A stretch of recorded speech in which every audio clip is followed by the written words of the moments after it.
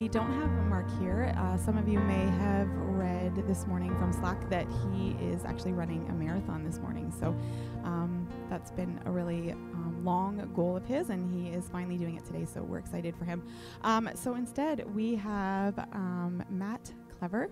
He is here from Sarnia. Um, he and his wife Erin planted Anthem Church in Sarnia just over a year ago. Anthem Church seeks to bring glory to God and make disciples by leading people to grow in their affection to, for Jesus and their neighbor. One of his favorite things to do is remind Mark how old he is, but I think he's kind of proving us wrong today.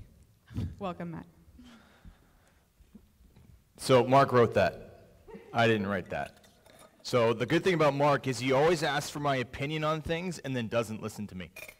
And then does what he wants anyway. I don't remind him how old he is, but we are all going to after his marathon, right?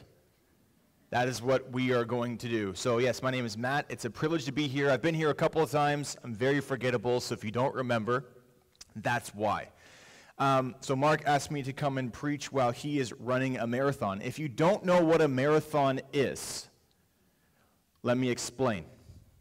So, a gun goes off, or a horn, or a bell, or a whistle, or whatever and then you start running. And that's it. You just keep running. And then when your legs start to burn and your intestines want to explode, you're about halfway done. Friends, I don't want you running and telling Pastor Mark saying, Matt talked about hell, but this is what hell is like. the guest preacher came and taught us about hell. This is hell, friends.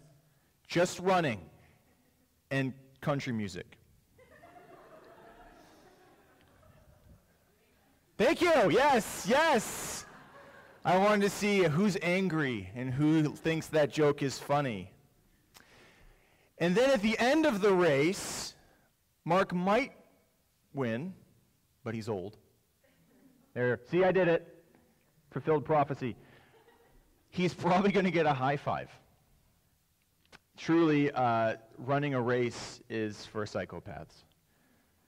So if you had any doubts about Forward City and you're worrying about Pastor Mark, there you go. There's your clue. Dude's crazy. Um, so, and, and I was fighting it. I was fighting talking about the marathon because it was such low-hanging fruit as a sermon illustration. But I kept hitting my head on it because it was so low-hanging. So tonight, today we're going to, sorry, I do church Saturday night. So if I say night, I mean day. Um, and, and so here's the deal. We pastors try and not write sermons again. We try and recycle material. We love you, just not that much. Right? And so he's like, hey, so we've been preaching about prayer. And I'm like, hey, I haven't been. However, when I was thinking about uh, the series that we're going through at Anthem called uh, on James, the book of James, I couldn't help but come back to uh, James 1. So we covered James 1 together over the last number of weekends. And uh, so I'm not going to do all of James 1 for you for a couple of reasons. One, that's too much information and doesn't suit our purposes this morning. The other reason is there's like seven or eight people here this morning from Blenheim. And that means the other seven or eight people from Blenheim are wondering where half their town went. So we have to hasten before there's a crisis on our hands of half a population of a town gone missing. Thank you. Last time I was here, the Blenheim people and I had a good time together. Love you, Blenheim. So if you brought your copy of God's Word and you want to follow along with me, I'm going to be bouncing through a couple of, of parts uh, specifically of James 1 because I want to look at a couple of things. We want to talk about this morning. What does prayer look like in trial? Likely, all of us in this room have gone through seasons of our lives of immense difficulty, ranging for different reasons and for different time spans. But often I think of, and again, low hanging fruit, I'm really sorry, trial as a marathon of the soul,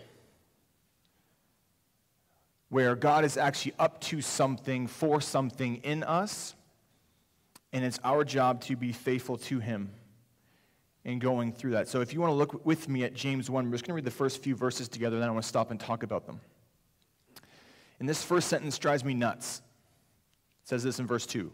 Uh, so James, the half, half brother of Jesus, is writing.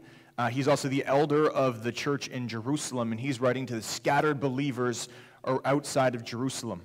He says this Consider it pure joy, my brothers and sisters, when you face trials of many kinds. Consider that pure joy, because you know that the testing of your faith produces perseverance. Let perseverance finish its work so that you may uh, be mature and complete, lacking nothing. If any of you lacks wisdom, you should ask God, who gives generously to all without finding fault, and will, it will be given to you. But when you ask, you must believe and not doubt, because the one who doubts is like a wave of the sea, blown and tossed by the wind. That person should not expect to receive anything from the Lord. Such a person is double minded and unstable in all we do. What's interesting is uh, so Mark and I are, I'm going to say we're good friends. He doesn't want to be my friend, right? But we're good friends. Um, he's like my big brother in the Lord. So we've been talking at length about his training. So again, the fun thing about running marathons is you have to practice. Does anyone know how you practice running a long race? You run shorter races repeatedly. So basically, to prepare for long suffering, you suffer in other increments leading up to that long suffering. So Mark didn't just run this race this morning. He texted me, and here's the thing, friends. If I'm running a marathon, I'm going to focus on breathing. Mark is texting me as we speak updates on his race because that's what a man does. I wouldn't be, but he's text. I'm halfway done. Good for you. Psychopath. Right? But the end goal for Mark was always this race, which is an amazing end goal. Think about that for a second. He started off with smaller increments, doing 2 kilometers, 5 kilometers, 10 kilometers, 15 kilometers, 20 kilometers, 25 kilometers, 30 kilometers, now doing 34. Each leg of that sucked. It hurt every time. And then he would add more and more and more so that he was preparing for this. If he didn't prepare, he would not finish the race in order for him to cross this finish line and get his well deserved high five, he had to prepare for this. Now, the reality is that we as Christians also have a finish line. Hebrews 12, the first few verses say this Let us throw off everything that hinders and the sin that so easily entangles, and let us run with perseverance the race marked out for us. Fixing our eyes on Jesus, the pioneer and perfecter of faith for the joy set before him, he, Christ, endured the cross, scorning its shame, and sat down at the right hand of the throne of God. Consider him who endured such opposition from sinners, so that you will not grow uh, weary or lose heart. So the author of Hebrews is likening our faith to a race. He then uses Christ as an example for us to follow in running that race. Notice that James, in, in our first few verses, says, Consider it joy he doesn't say enjoy. Consider the trial joy, not necessarily enjoy the trial. Jesus isn't, uh, didn't get nailed to the cross for fun.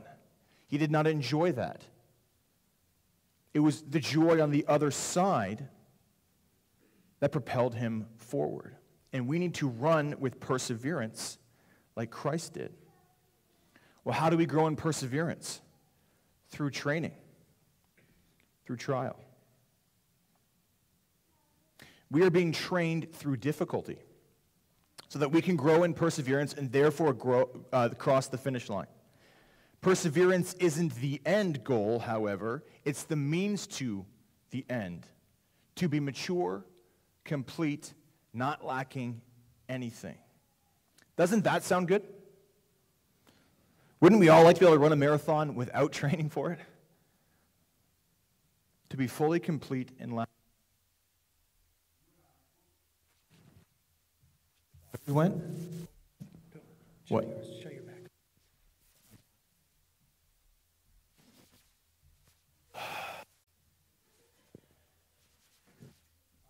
Consider this pure joy.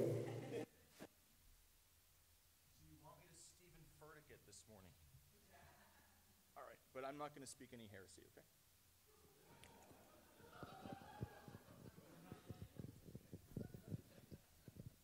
Is this on? Boom.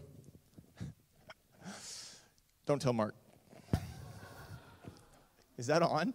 Are we recording? Are we live? Don't do that. You and I are all running a race toward completedness in Christ. The race is hard, and there are going to be difficult legs of it. We will only get through if we've trained and prepared. All right. This is going to be a little more difficult holding this microphone.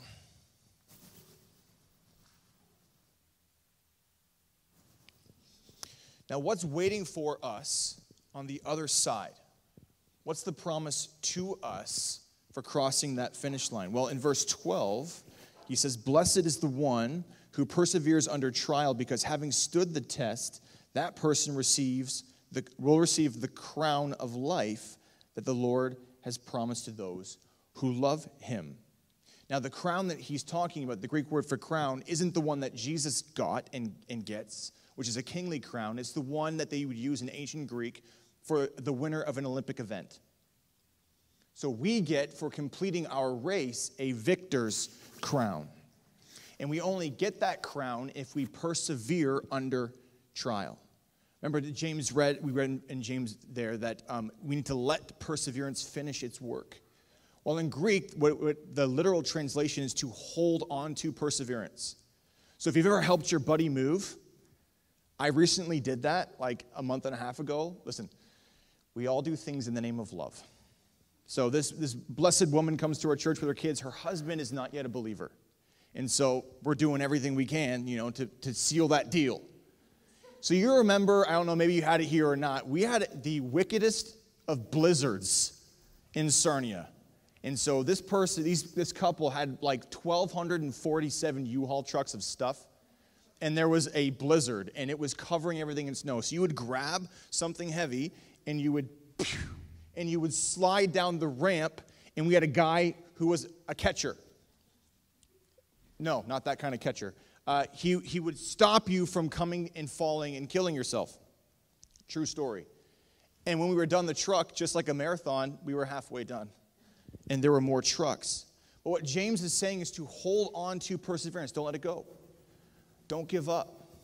Let perseverance finish its work so that you can get the crown.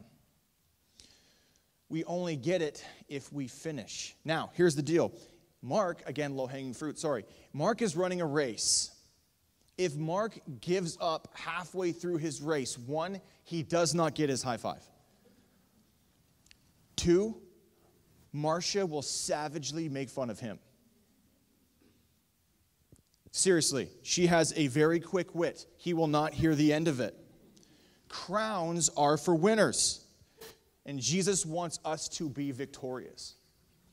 His hope for you, his hope for me is not that we will fail. He's preparing us specifically so that we don't. Now, question is what does prayer look like when we are in trial? How are we supposed to pray when we are in trial? Well, what I'm going to argue is that prayer is actually most of the point the way that we get through trial, the way that we get through difficulty is actually through prayer. So he says, Consider it pure joy. Without prayer, we can't succeed. How are we supposed to consider it pure joy? James is trying to affect our outlook. Why? Because our outlook affects the outcome. If our outlook is off, we're going to miss the point of what Jesus has been up to the whole time through the trial. So, what does James say for us to do? He says to pray. If you need wisdom, ask. The solution to the problem of perseverance, the solution to the trial isn't try harder, it's pray. It's God's grace. It isn't more effort, it's asking God for his help. And then he goes on to say that we need to trust God when we ask. Now, there are three kinds of trial that we need to talk about, okay? So the first kind of trial is the human kind. We get sick. Uh, we live in a sinful, fallen world. Our car breaks down. We get a flat tire. Uh, we lose our job. There's a number of things that will happen to us in the realm and rhythm of life simply because of the world in which we live. So there's human trial. There's a second kind of trial. The reality for those of us who are Christians, we have an enemy. We sang uh, an awesome song uh, that I loved a lot, calling him out pretty hard. But we have an enemy who hates us. And so there are some things that we go through, not because we're human, but because we're Christian. Where do you want me to put this microphone? Up here? Is this good? Yeah, cool. Dude, you can just yell at me. You with the iPad, I see you. Just only PG hand gestures, though, okay? So there's a second kind because we are Christian. The third kind is because God loves you, and God, as a loving father, is going to discipline his children. So, two of them he doesn't cause, one of them he does. Why? Because he's trying to grow you, grow us, to complete the race that's before us.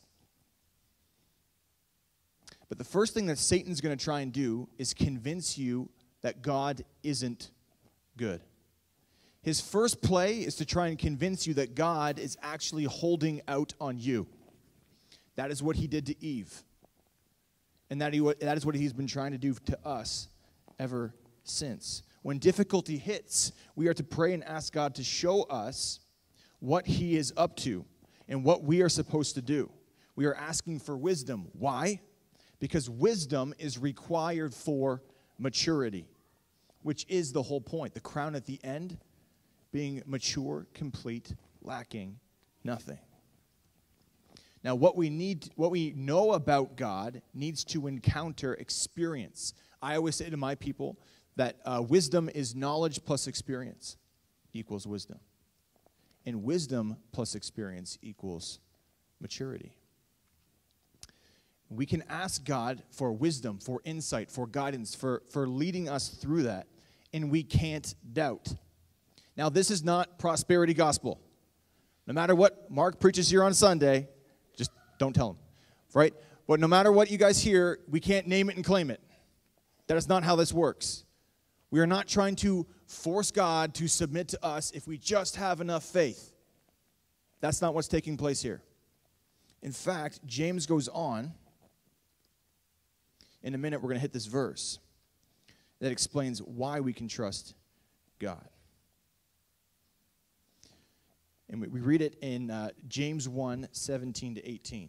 And it says this Every good and perfect gift is from above, coming down from the Father of heavenly lights, who does not change like shifting shadows. He chose to give us birth through the word of truth, that we might be the first, a, a kind of first fruits. Okay. Again, normally I have two hands. I apologize. So when we pray and we ask, we aren't trying to manipulate God to do what we want, right? And we aren't doubting his goodness. The reason why we are asking is because God is good. We are asking because God has been good. What does James say? He says that God does not change. Not like shifting shadows, not like us. He, he prays and says, Don't be wavering. Well, God doesn't waver, He's unwavering. And He doesn't change. And so, if God has been good, logically, he can't change. That means logically, he will always be what? Good. And so, what's the proof of that? Well, James writes every objectively good thing you have is a gift from God. What's the proof of that? He talks about our salvation. The very fact that God has saved us by his grace and his mercy is proof, is evidence of his goodness. So if God was willing to give us new life, new birth by spirit and truth, what will he hold out uh, hold back from us? Nothing. So when we need wisdom, we must ask, trusting that God will in his goodness respond because he has always been good. Just want to touch base uh, on, on something that has kind of shifted how I've been thinking about prayer. Often, I'm going to read a, uh, a couple of verses for us, and often when we, we hear these verses, we immediately think about human relationships, which is great and is very much applicable for human relationships, and it's how I preached it a few weeks ago. In verse 19, he says this My brothers and sisters, take note of this. Everyone should be quick to listen, slow to speak, slow to become angry, because human anger does not produce the, the righteousness that God desires. Flippy, flippy. So, how do our prayers normally go in trial? How are you doing at this principle? I, I love this principle. Um, who's, ever, who's ever read the book, Seven Habits for Highly Effective People? A few of us. Nice. Highly recommend it. The author, Stephen Covey, uh, has written some great principles in there for us to be effective. And one of those is seek first to understand and then be understood. James writes and says, Be eager to listen, be eager to hear, and not make others hear you, and don't be easily angered. Well, how do our prayers primarily work in trial? How many of us take time to pray and ask God what He's up to? Before we blast him with exactly how we feel about what he's up to. Don't be easily angered. How quick to anger do we get? If I ask for another show of hands, I'm not gonna. I bet you not many of us in this room are batting a thousand on this.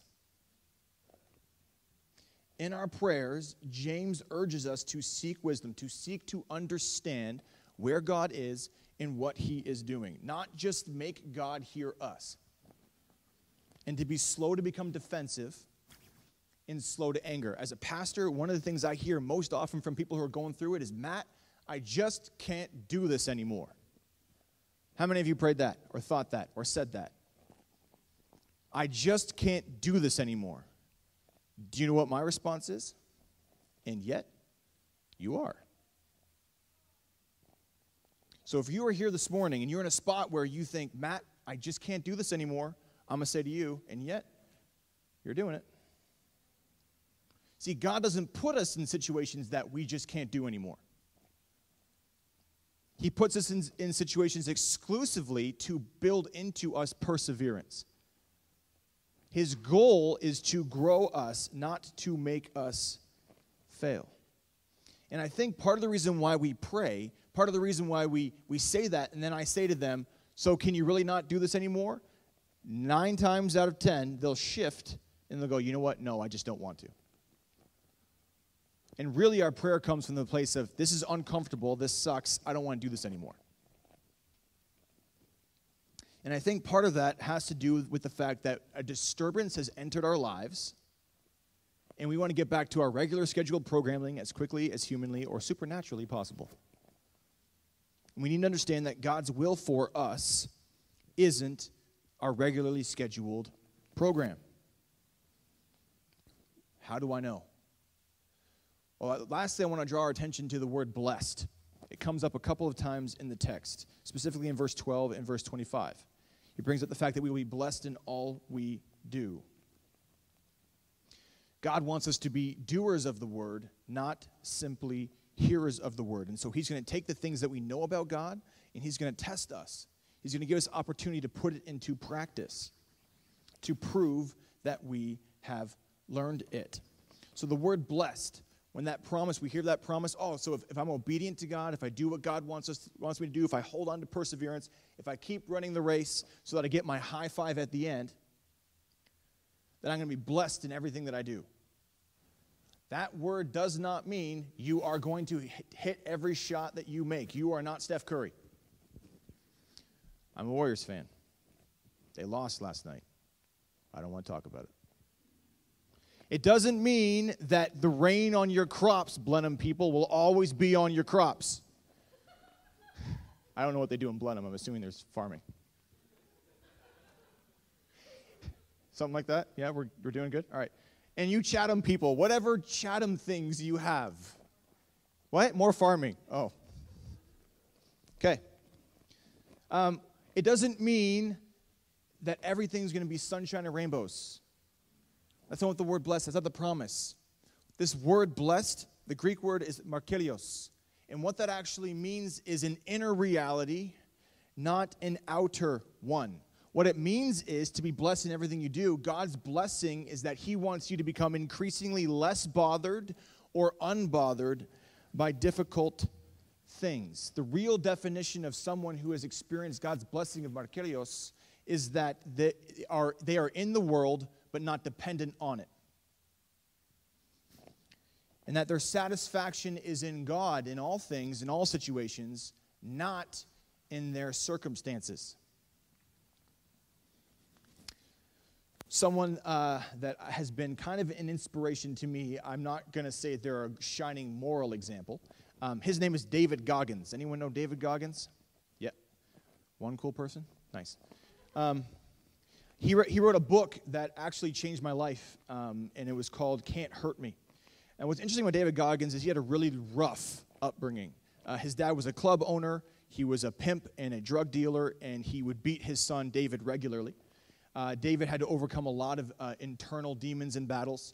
Um, and what makes David distinct and unique is that he's the only living person to be a Navy SEAL and pass Ranger school. So the Navy SEALs and the, and the Rangers are two of the most elite fighting forces on our planet. And he has the distinct privilege of passing both of those. He also, just for fun, runs. So here's the thing Mark's going to walk in here. Mark's going to imagine he's going to walk in here like this on Sunday. Really, he's going to be like this, right? But he ran a 34 kilometer. Dope. David runs 100 mile races, and he does it in 24 hours without sleep for fun. He also holds the, the world record, or has held the world record chin up thing. Guinness, but like, why? Who decides? He trained for that too. Again, more pain, more suffering. Why? What's really interesting is I, before I read the book and I found him, YouTube knows me, YouTube watches me, and so YouTube knows what I want to watch. And so I saw this interview pop up with this dude, David Goggins, and this guy asked him, Why am I saying this? He asked him this question David, how were you able to accomplish everything you have accomplished and overcome everything you've overcome? And David's answer changed my life. And I'm going to give it to you the clean version. He said, I got really comfortable being really uncomfortable. Let me say that again. I got really comfortable being really uncomfortable. Friends, I don't even like going outside. It's uncomfortable outside. Have you been outside? I spend a lot of money on an inside. Camping, not my idea. I don't even like the beach. Every time, every time Mark goes away, he's at the beach, he's sending me photos going, hey, I'm, I'm everywhere you hate. The sun, the, the sand, the water, yuck, don't like it. It's uncomfortable. David said he got real, it's, it's hot, it sticks to you. Like no one likes that, right? And then, oh, sunburn. You have to apply stuff to your skin so you don't die. What is that? What catches me is that David's response to how he was able to accomplish everything he accomplished was that he got really comfortable being really uncomfortable. What catches me, friends, is that that is literally what Makarios is our fuel for considering it pure joy, for making it through the trial, whatever that trial is, the ability for us to do that is intently studying the Word of God and doing it so that the Holy Spirit can respond with fruit. Really quick reminder of the fruit of the Spirit found in Galatians 5 love, joy, peace, t- uh, patience, kindness, goodness, faithfulness, gentleness, and self control. Joy is a fruit of the Spirit. So, how do we consider it pure joy? How do we have joy in the trial? By allowing the Spirit to work in us. God's work in you and in me isn't to get us through difficulty as fast as possible so that we can get back to our healthy, li- healthy happy lives. Rather, God's work in us is so that we can grow in greater blessing. And that blessing is to help us be satisfied in every situation to help us be comfortable being uncomfortable, so that when life is hard, when we get hit by trial, either by human, by the devil, or by our loving Father, or when God asks us to step up in a big way, we are unbothered by it. Because in this life, trouble is guaranteed. Jesus Christ himself said, In this world, you will have trouble, but take heart, I have overcome the world. So, trial, friends, is not a question of if, it's a question of when. And so, God, being faithful to finish the work He started in us, is going to lead us through and get us through these difficult things. See, God loves you and wants you to succeed. So, He is going to prepare you. He's not going to throw you at the starting line of a, of a marathon without first training you to do those things. My man, there's no altar call. Sorry. Don't tell Mark. Because life is going to be hard. It's not an easy race. God has to prepare us for it. That is the blessing. God isn't trying to get us through the uncomfortable to the comfortable. He's trying to get us to be comfortable being really uncomfortable. Um, my brother, I'm going to put this down. There's a, I got, I got a, yep, bam. Um, my brother is uh, two years younger than me, and he's taller and more handsome and faster and more athletic and cooler than me in every way. Um, so, my brother, uh, one of the things that connects Mark and I together is the fact that we're both American. So, don't throw anything. Yeah, ooh, I got a woo. Let's go. Yes, sister, I see you. Um, uh, so I was born in the States. My dad's still American, married a Canadian girl, and uh, so all of us kids were born in the States. So my brother uh, decided that he would do something funny and go on Christian Mingle and found a wife. Oops. Um, and she just so happened to be a lieutenant colonel's daughter. So Jeremy decided, you know, he would activate his long, uh, dormant man dreams of joining the army. And so my brother's like a really low achiever because he never tried at anything. So we're like, okay, man, you know, best of luck to you. So then he went and he took his aptitude test and he scored in the 96th percentile. Uh, what that means is, of everyone who's ever taken the Army aptitude test, he's smarter than 96% of them. So they offered him like a plethora of jobs. And so Jeremy, my brother, uh, loved the idea of being a combat medic. And so he went through basic training, and then he went through medic training, which was a, a whole big thing. And then when he came on the other side of that, he was like, ah, you know, well, let's try for the airborne because, you know, saving people on the ground is boring. I'd rather jump out of a plane to get there. And so then he passed airborne school, and then he, he did a tour in Afghanistan. He was stationed in Kabul for a number of months and avoided death and uh, experiences that I could share with you that I won't. And then while he was there, uh, you know, as a soldier does, he got bored and was reading an army magazine and decided that jumping out of planes and helicopters was getting old and he wanted to fly them instead. So the picture you see is the Black Hawk that my brother flies for the American military. If that's not the coolest thing you ever saw, I don't know what is. And I'm a church planner, so basically we have the same job. Um, and uh, why am I telling you this? Because uh, one of the things I love about the internet is my brother and I swap audios all the time through WhatsApp. We just send messages back and forth and uh, encourage each other and share experiences. When my brother got accepted into the uh, pilot program, he was stationed in Germany, so they had to cycle him back during COVID so that he could do the training. And then he had to do something called SERE School. And if you're not familiar with SERE, it stands for Survive, Evade, Resist, Escape. And uh, what they do in SERE School before they even put you behind a stick uh, to fly is uh, train you to understand and be able to survive should your helicopter go down in enemy territory and you have to get out. And so they taught him to do all kinds of things. They uh, taught him how to live in city environments, how to avoid detection during the day. They would literally starve you in SERE so that you'd be desperate enough to actually eat the things that you find in dumpsters. And then they would take you out of that environment and they taught you how to live. Check. Nice. I'm, dude, I don't know what's with microphones today. Um, where they, they would teach you how to build camps and fires and survive. And he was in Louisiana, so at nighttime there were spiders as big as my head that would come down. Yes, I know. So you'd have to walk in a straight line, and you have one person with a stick in front doing this to bat away, yes, the spiders and the snakes that were hanging down from the trees.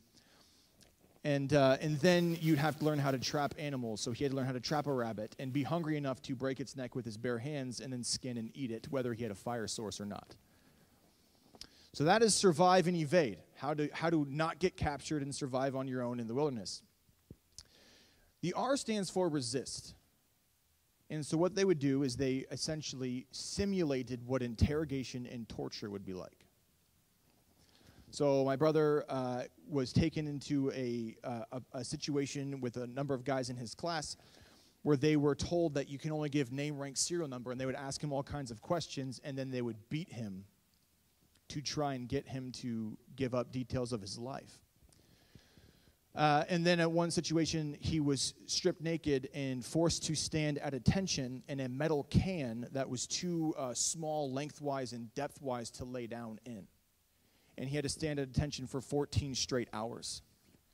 And the deal was that if they came back and checked on you, and they, they, had, they checked on you every few minutes or so, and you weren't standing at attention because you had passed out or sat down or whatever, they would beat the person next to you. So my brother was beaten a number of times simply because his cellmates had fallen asleep. Why am I telling you this? You're like, Pastor, way to end on a high note, right? Why am I telling you this? Well, here's the question why would the army do this? It got so bad, they were blaring things over the loudspeaker by his ear that are inhumane. They all required psychological evaluation before returning to their families. Why would they do this? Because it would be unloving for them not to. Yeah. Isn't that funny? But imagine Jeremy's helicopter did go down and he didn't know how to survive. He didn't know how to evade. He had no experience resisting, and he never escaped. What would he do then? See, the, the thing about this is that they never hit him in the face, and they never hit him in the groin. They weren't actually trying to injure him, they were trying to help him be comfortable being really uncomfortable because they need him to succeed, because lives depend on him succeeding. God, I know, weird stretch. Listen, friends, you have an enemy that hates you. And God has plans for your life. God needs to prepare you for those you into a situation that you were not ready for. What did David say before he slayed Goliath? Lions and bears I've already done. God's prepared me for this. He's doing the same thing for you. So, for my brother to have the glory of flying this beauty, he had to go through that. And for you to experience the glory of the crown that God has for you, you are going through and experiencing what you are. And God's intent is not to injure you. So in our prayers, let's not be defensive. Let's not get angry. Let's ask Him, Lord, what are we working on today? I need your wisdom. I need your counsel because you're good. And I know that there's good in this for me somewhere. Let's pray. Team, why don't you come? Father God, uh, grateful for Forward City Church, grateful for uh, this city, for Chatham, grateful for the ministry and the work that you are doing here. I'm grateful for um, the nine years that this church has been a, a beacon and example to the community of your love and your kindness and your faithfulness. And so, Lord, just for my brothers and sisters here this morning who are struggling, um, going through trial and difficulty, I pray, Lord, and I ask that you would reveal your goodness to them, your grace to them, your mercy to them. Lord, that you would be at work powerfully. God, remind us how good you are and how much you love us. Help us persevere so that maybe we may experience the true blessing, God, that you have for us. And that's an inner reality, not an outer one. Your goodness to us is that you truly will um, give us everything we need when we need it. we have everything we need for today. And that promise is true. And Lord, you've promised us a crown at the end. Whatever difficult season is going on in people's lives, Lord, this will not be our whole life. It's temporary. So, God, as we celebrate with Mark uh, what he's accomplishing today, Lord, let that be a reminder to us that you are training and that you are preparing for us to have success in what you're calling us to. We pray in Jesus' name.